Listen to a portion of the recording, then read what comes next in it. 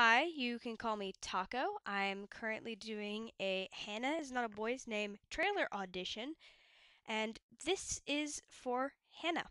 I would like to apologize in advance for any gratuitous coughing. You're dead. I mean, you're uh, you're more of a mm, living dead since you know. Jeez, wow. Uh, huh? Yes! Fuck yes!